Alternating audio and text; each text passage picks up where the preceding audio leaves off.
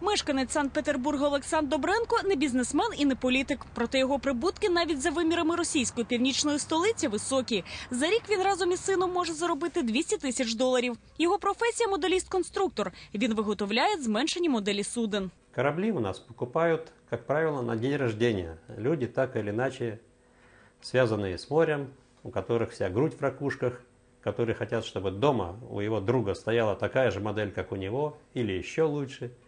Ну вот так потихонечку разрастается волна от одного клиента до другого. Продають мініатюрні кораблики у середньому по 20 тисяч доларів. Якщо вдасться продати модель через інтернет за кордон, то її ціна сягає 120 тисяч.